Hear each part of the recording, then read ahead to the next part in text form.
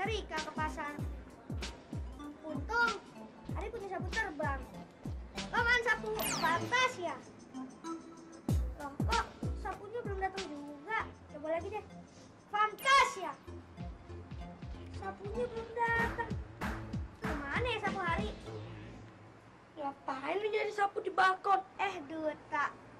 Enggak, Hari cuma mau nyapu kok. Sapu kan disimpan mama di dapur. Oh iya, Hari lupa. Eh, sekarang lu turun ke bawah. Ambil roti jatah papa. Gue masih lapar. Iya, iya. Biar aja roti jatah papa kita ambil.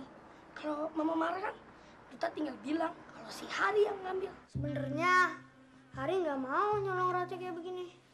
Tapi kalau kagak dilakuin, Duta bisa marah besar sama Hari.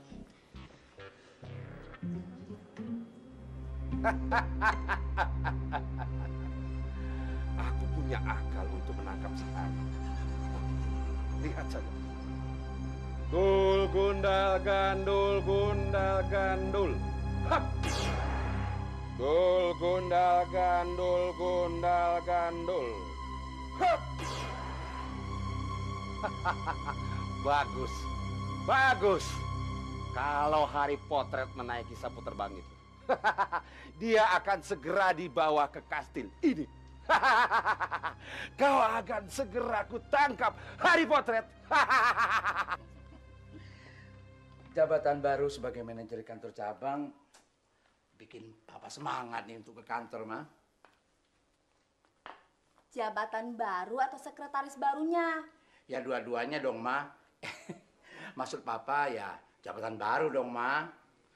Buat Melani, papa nggak bakal deh melirik dengan sebelah mata. Tapi dua-duanya, ma. Apa? Dua-duanya? Nih, nih, nih, dasar mata keranjang. Mama pagi-pagi mau ribut. Loh, roti buat papa sarapan mana, ma? Tuh, kok cuma segitu? Kok tinggal segini? Pasti si kurus kering itu yang ngambil.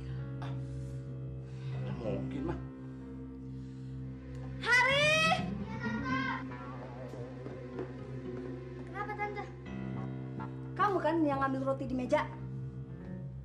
I- iya, tapi Hari cuma Cuma kelaparan. Dasar maling lu. Tante paling gak suka kalau kamu tuh curi-curi makanan. Apalagi itu roti jatah om kamu. Sebagai hukumannya, kamu setelah ke pasar mesti mengepel seluruh lantai sampai mengkilat. Ngerti? tapi Hari kan cuma Cuma ngambil. Ya itu kerjaan maling. Mama kelewatan banget sih. Benar apa yang dibilang sama Duta. Pokoknya kamu mesti membersihkan seluruh lantai sampai mengkilat. Mengerti kamu? Huh. Iya tante.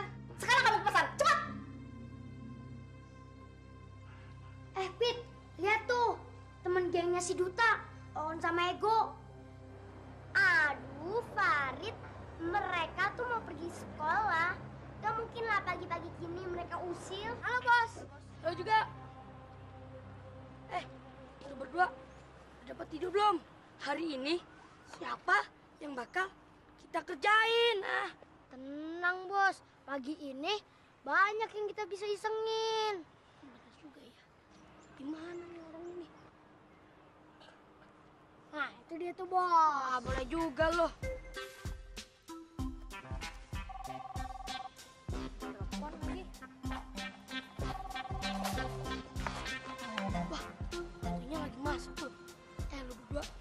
Tumpahin tuh tempat sampah bos.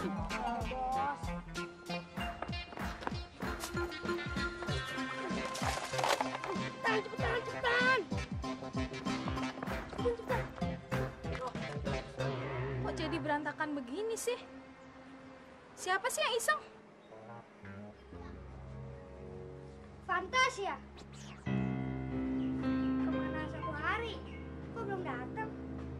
Gak biasanya sapu hari gak bakal datang. Coba lagi deh. Halo Hari. Eh kalian, Hari lagi bingung nih. Bingung? Bingung bingung apaan?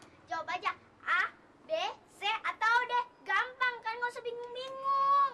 Emangnya ulangan apa? Ye, emangnya kenapa? Cuma bercanda juga. Kamu kenapa Hari? Sapu hari dari tadi dipanggil-panggil kagak mau dateng. Nggak tahu kenapa. Coba nih. Fantasia. Hah? Ih, kamu ngibulin kita berdua ya? Siapa yang ngebulin kalian? Hari sendiri juga bingung kok. Ada apa dengan sapu ini? Sandiwara apa lagi nih? Kok dia malah pergi sih?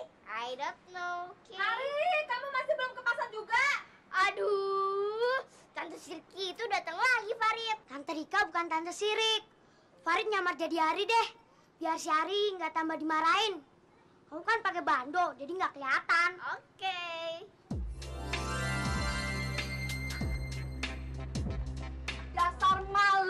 disuruh ke pasar dari tadi belum pergi-pergi juga. Ingat ya, kamu masih punya satu hukuman lagi, harus mengepel seluruh lantai rumah ini sampai mengkilat. Mengerti?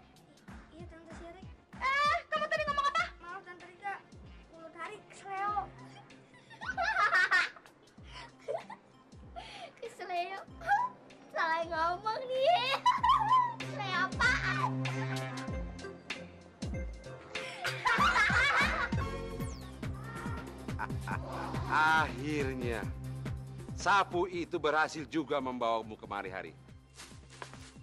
Pantes saja sapu Hari jadi kagak benar. Ternyata ini ulahmu baru jahat.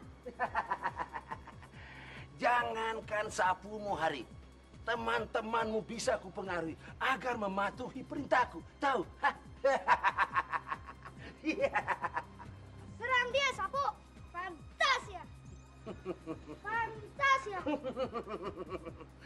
Kau saksikan sendiri kan hari? Hah, Sapumu lebih menuruti Baron si Mukapel daripada majikannya. Hah, Jadi aku jauh lebih unggul daripada penyihir kecil bau kencur seperti kamu hari. Jangan senang dulu baron jahat. Fantasia. Hilang ke mana dia? Fantasia. Ah! Sialan kamu anak kecil. Hahaha. Lumayan sakit kan baron jahat. Jangan kamu kira aku tidak punya mantra. Pemudah ilmu menghilang hari. Hah? Dol gondal gandul anak gondol banyak bisul. Bisul pecah anak gondol marah-marah. Ya! Sampai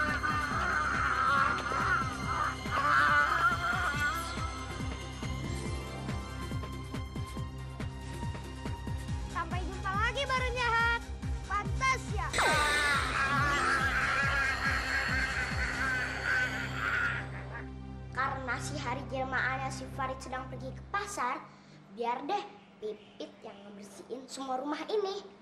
Sekarang lantai disapu dulu. Hopla! Halo cowok. Eh, Serina. Ini aku Farid yang sedang menyamar jadi Hari. Serina tahu kok. Kan Serina juga makhluk halus kayak kamu. Eh, sini biar Serina yang bawain belanjaannya. Gak usah. Masa cewek bantuin cowok? Biar aja, Serina kan calon pacar kamu. Eh, Serina lepas bando dulu ya biar Serina kayak manusia beneran. Yuk, gak usah gandengan-gandengan tangan lah. Kita kan masih anak-anak, malu. Malu halus kayak kita kan umurnya udah 50 tahun lebih, Farid. Eh, Itu bos. Itu. Di sana itu lihat dong. Hah? Si Begeng itu pacaran sama cewek cantik. Apa gua nggak salah lihat tuh? Masa bos bos penggebet cewek sama si Hari padahal bos tampan. Gagah. Sialan tuh si Begeng. Pokoknya gua harus dapetin tuh cewek cantik. Betul, Kalau si Begeng nggak mau, gua bikin babak belur. Eh, bos. Kita samperin aja, bos. Ya, ya jangan bego. si Begeng bisa lapor ke mama kalau kita bolos sekolah hari ini. Oh, iya betul. Mendingan kita langsung dapet aja dah. Ya, ah, ya. kalau jalan sama kamu, enakan aku berubah jadi Farid aja deh.